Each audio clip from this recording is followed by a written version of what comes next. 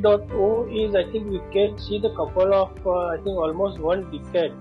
Uh, cyber security is more in the more discussion on various channel, various panel discussion, various organization, and across CISO and the CIO community because uh, uh, the way data size is increasing, including COVID and after COVID, so it is giving more opportunity for cyber criminal to target a specific business segment or organization to get the data because this data include various type of information like from PII to various personal health information, personal financial information of each and every uh, uh, individual. So this uh, attract a cyber criminal to uh, hack uh, target, uh, business specific data and is demanding cyber security 3.0 to focus and get more requirement specific solution where organization can save this data, save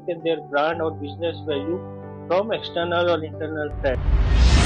Earlier, when you used to implement some uh, security related, I have uh, so people used to implement some standard firewall, some SSL or some basic tools, and they were uh, thinking that okay, we are safe. But now these are the very basic thing, and this cannot help any organization to help their uh, data or brand because uh, the way technology are increasing and uh, upgrading cyber criminals are also upgrading themselves to uh, crack this technology or hack this technology how how they can target a specific organization specific data and so in this scenario organization has to make sure that whatever technology we are implementing that uh, can achieve the business goal business security goal. More specific i can say not it goal or business goal.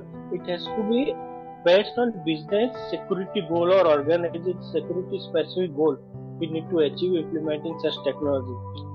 Uh, now in normal i can say current there, there are so many technology which uh, we can say there are some uh, I think a multi-factor authentication to uh, I can say zero trust, SES-based technology, and all technology are uh, implementing AI-based, uh, uh, coming with AI-based scenario where they can uh, experience or track threat in advance, and they can inform or alert organization or. Uh, you can say CISO, CIO's concern team to uh, uh, handle and take action on and advance think. So these are the modes of the thing are evolving uh, in the uh, cybersecurity area. Think.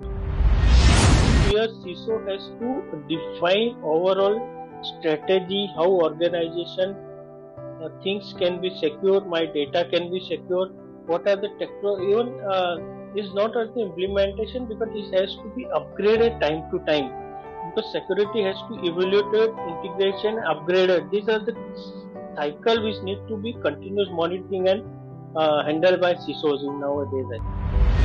Now, when we talk about threat landscape, we will see that any bigger threat we comes, then we monitor. And CISO, what to uh, once technology implemented, we normally include inside a small threat where it's coming to network any phishing kind of thing uh, normally we ignore at the organization level but we have to focus from micro level to uh, macro level. These are the all chain i think we have to monitor frequently and think. This was to uh, consider in the entire thing